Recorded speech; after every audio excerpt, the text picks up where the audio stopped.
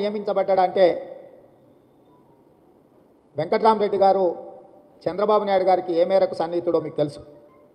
ఆ తర్వాత వచ్చిన కాంగ్రెస్ ప్రభుత్వంలో కీర్తిశేషులు డాక్టర్ వైఎస్ రాజశేఖర రెడ్డి గారి ప్రభుత్వంలో అదే ఉమ్మడి రాష్ట్రం సమైక్య పాలనలో రాజశేఖర రెడ్డి గారు మన్ననలు పొంది హుడా సెక్రటరీగా నియామకమయ్యి ఔటర్ రింగ్ రోడ్డును అనకొండలాగా అష్టావంకర్లు తిప్పి హైదరాబాదు తలమానికమైన ఔటర్ రింగ్ రోడ్డును వంకలు టింకలు తిప్పి వందలాది మంది రైతుల యొక్క భూములను తొలగించడానికి సొమ్ములు ఆక్రమించుకొని ఆ పక్కనే భూ కొనుగోళ్ళు చేసి అక్రమాలకు పాల్పడ్డాడని ఆనాడు ఆరోపణ వస్తే ఆనాటి ప్రభుత్వం సిబిఐ విచారణకు ఆదేశిస్తే ఔటర్ రింగ్ రోడ్డును అనకొండలాగా అష్టావంకర్లు తిప్పిన దాంట్లో పి వెంకటరామరెడ్డి గారి పాత్ర ఉన్నది.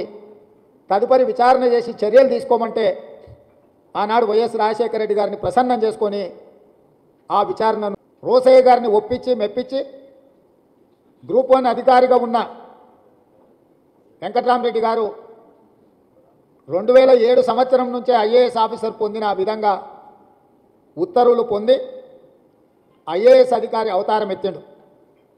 ఆ తర్వాత వచ్చిన కిరణ్ కుమార్ రెడ్డి గారిని గొప్పగా మెప్పించి ఒప్పించి కిరణ్ కుమార్ రెడ్డి గారిని ప్రసన్నం చేసుకొని ఒక మంచి ప్రణాళిక తీసుకొచ్చి చిత్తూరుకు డ్రింకింగ్ వాటర్ స్కీమ్ చిత్తూరు జిల్లా తాగునీటి సమస్యను ఎదుర్కొంటున్నది.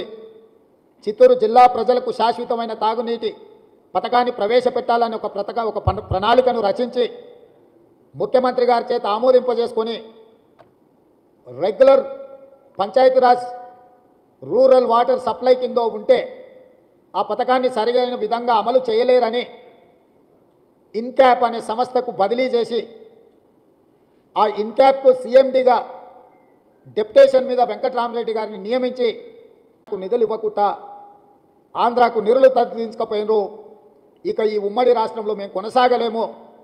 సమైక్య పాలకుల యొక్క ఈ వివక్ష తెలంగాణ ప్రజల యొక్క ఆత్మగౌరవానికి అవమానం. ఈ అవమానాన్ని ఇంకా భరించేది లేదు. వీళ్ళ మీద చర్యలు తీసుకోవాల్సిందే రాష్ట్ర విభజన జరగాల్సిందే అని చెప్పి ఆనాడు మాట్లాడి. చంద్రబాబు నాయుడు గారి హయంలో సీమాంధ్రకు సంబంధించిన చంద్ చంద్రబాబు నాయుడుకి అత్యంత సన్నిహితుడు.